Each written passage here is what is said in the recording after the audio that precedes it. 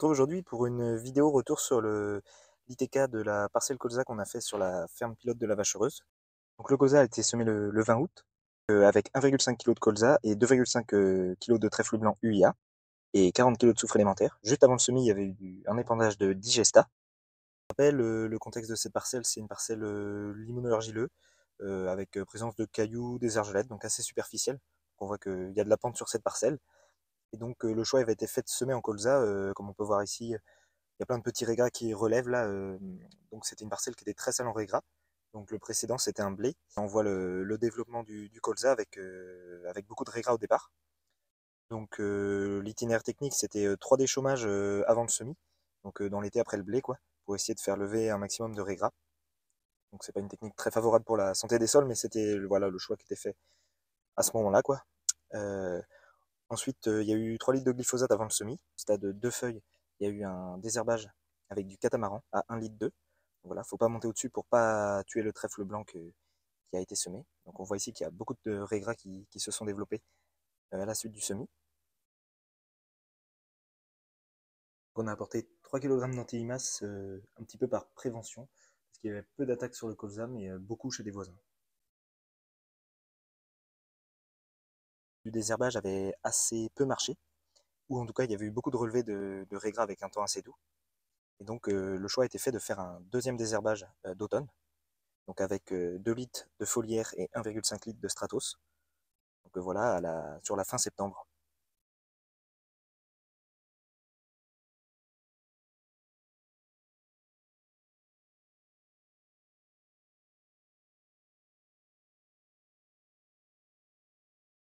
Bonjour, on est le 13 octobre. Euh, Aujourd'hui, on se retrouve sur la parcelle de colza associé pour euh, voir un petit peu l'évolution du, colza, qui pousse bien avec ces températures euh, assez douces.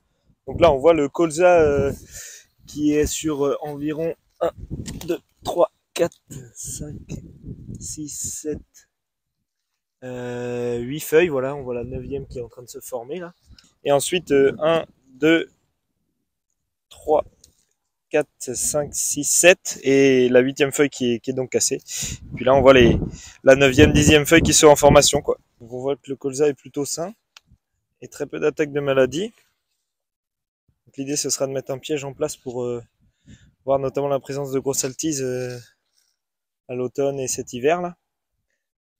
Et euh, donc voilà on voit que le colza est, est bien, bien en place, bien en forme. Et ensuite, on retrouve en dessous le, donc le trèfle blanc, là, qui, donc voilà, il y a des pieds présents un petit peu partout. Et là, il, donc, il est bien couvert par le colza. Donc, euh, les légumineuses, elles poussent surtout avec la lumière. Donc là, le trèfle, il devrait rentrer un petit peu en, on va dire, en phase de dormance, plus développer beaucoup, euh, rester à l'ombre du colza, quoi. Colza, on a encore quelques petites présences d'adventices, par exemple ici, des kénopodes, mais qui sont des, des adventices estivales, donc ça va, pu nous embêter pour, euh, ce colza. Et, euh, et, donc voilà aussi les régras qui ont bien disparu avec euh, le deuxième désherbage qui a été fait. voilà un petit peu pour ce colza.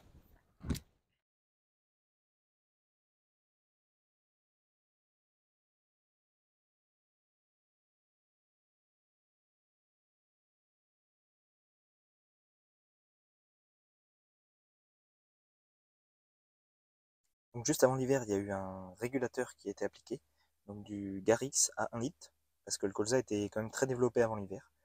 Pour éviter les risques d'élongation.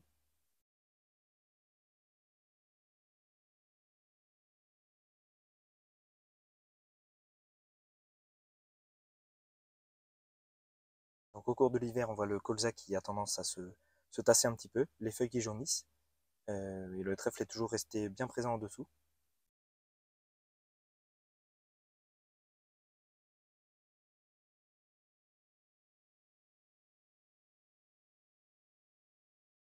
Donc en sortie d'hiver, donc euh, un petit peu après cette photo-là du 19 janvier, euh, il y a eu un épandage d'ammonitrate soufré, donc euh, un 15-45, voilà, pour apporter à hauteur de 200 kg, pour apporter du soufre pour le colza. Et ensuite, donc, il y a eu le 13 mars, donc juste avant cette photo, un épandage de 2,5 litres d'acide santé, donc un cocktail d'oligo-éléments avec 0,5 litres d'acide orthosilicique. Et par la suite, donc le 10, le 10 avril, comme on peut voir ici, il y a eu le deuxième épandage d'oligo-éléments avec aussi de la silice. Et là, on avait rajouté 1 litre d'acide aminé, qui est un produit très réducteur, pour essayer de renforcer la santé des plantes au maximum et pouvoir se passer de, de fongicides, parce que le colza était très sain à ce stade-là, donc les tiges bien vertes. Et donc le choix a été fait de voilà, se passer de fongicides, malgré la, la pression qu'il pouvait y avoir. On voit ici que le temps est quand même très, très humide, enfin brumeux en tout cas, sur la photo. Et là, on voit que le colza était, était très haut, quoi. Il fait la, la taille d'Anton, quoi.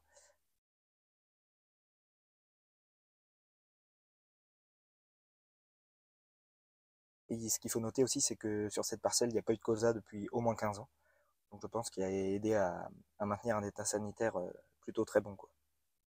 Et donc là, on voit ici le, 4 juillet, donc avec euh, le trèfle qui est un petit peu présent en dessous. En fait, c'est normal, il, reste assez petit euh, sous le colza. Et dès qu'on est sur un passage de traitement, dès qu'il y a de la lumière, on voit bien que le trèfle est là. Il s'exprime beaucoup plus. quoi.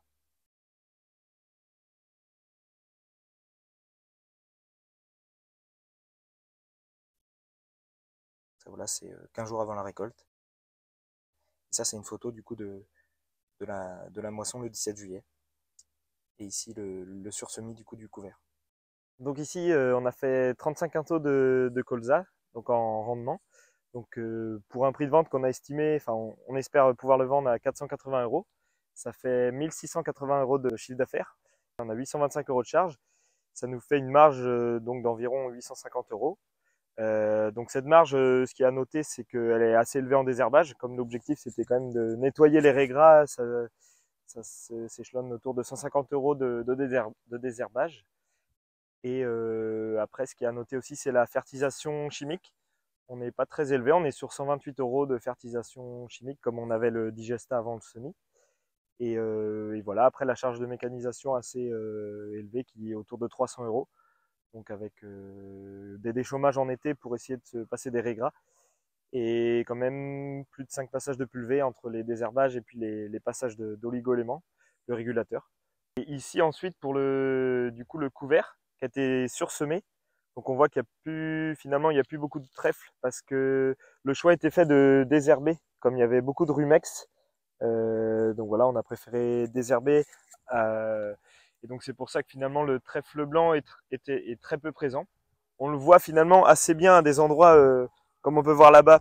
Donc euh, sous les passages de traitement, en fait, dès qu'il y avait de la lumière, il y avait beaucoup de trèfle. Et dessous, il était, il était présent comme on peut voir sur les images du, du 5 juillet là. Euh, donc il était quand même présent, mais donc avec le désherbage, ça l'a bien calmé. Il va sans doute revenir. Et là, le, le couvert qui a été semé, du coup, c'est sorgho qu'on voit beaucoup ici. Sorgho, 15 kg de sorgho. il y a 15 kg de pois fourragés. 0,5 euh, kg de tournesol et 5 kg de trèfle d'Alexandrie. Donc euh, on voit beaucoup le sorgho. Et si on voit ici des repousses de colza, elles sont vraiment euh, mangées par les limaces. Donc on suppose que voilà les, les autres espèces se font aussi attaquer pas mal par les limaces. Là on voit sans doute que non c'est du colza aussi, mais ici il y a soit un trèfle soit une luzerne comme c'était une luzerne avant. Ça a l'air d'être une luzerne je pense que les, autres espèces se font un petit peu euh, par les limaces. Donc euh, voilà, mais à voir, euh, ici voilà, on voit un, poids qui est, qui est bien attaqué, ouais. Donc, donc voilà, à voir ce que ça donne. Mais l'objectif c'est de faire du fourrage pour la méthanisation ou les a priori c'est plutôt destiné à la méthanisation à la base quoi. Donc là juste ici on est sur un endroit justement un passage de traitement. On voit bien qu'il y, y a, beaucoup plus de trèfle, donc a priori la, la base c'était ça qu'on voulait qu'on voulait voir euh, maintenant quoi. C'est euh, voilà un trèfle qui repousse euh, qui repousse beaucoup. Et du coup, on va dire que normalement le, le conseil c'était de broyer ça, enfin broyer le colza après la récolte et laisser repousser le trèfle. Et normalement le trèfle doit vraiment couvrir tout comme ça quoi. C'est ce que c'est ce que font les agriculteurs bah, qui sont déjà expérimentés avec cette technique de colza associé. Euh, le trèfle, normalement, il recouvre et euh, voilà, on peut attendre euh, deux ou trois tonnes de matière sèche en fin d'été, voilà, sans avoir besoin de quasiment aucune intervention. Donc là, le, voilà, le glyphosate, forcément, ça l'a, réduit et on a fait un sursemis en plus, mais normalement, il n'y avait pas besoin. Et aussi, il y a eu 20 mètres cubes de digesta qui ont été apportés juste avant le semis. Quoi. Et, ici, le choix, ça a été fait de pas broyer. Comme c'est un semoir à disque, c'était pour essayer de pas mettre trop de, de menu paille dans les, dans les sillons. Quoi. Déjà qu'on voit que les siliques ont tendance à, à, être un petit peu emmenés avec le, le disque du semoir à disque dans les, dans les sillons. C'est ça aussi peut-être qui explique que le résultat du semis est pas forcément euh, euh, optimal. Donc euh, notamment sur les, les, petites graines euh, comme le trèfle d'Alexandrie qu'on qu'on retrouve pas beaucoup. Mais, euh, mais, mais voilà un peu, c'était... Bon, après pour une première année, ça reste, ça reste une bonne expérience avec un colza sans fongicide. Et voilà, avec toute protection oligo-éléments pour une année qui est quand même plutôt euh, maladive. Toute l'équipe LVA, je vous remercie d'avoir regardé la vidéo jusqu'à la fin. N'oubliez pas de vous abonner à la chaîne pour ne manquer aucune de nos prochaines vidéos. Si vous avez aimé la vidéo, laissez un pouce bleu et vous pouvez également la partager à vos amis. Laissez un commentaire juste en dessous si vous avez des questions. Vous pouvez également nous suivre sur euh, Facebook et Instagram au nom de la vache heureuse. Voilà, merci beaucoup. C'était Pierre et Arthur de l'équipe LVH.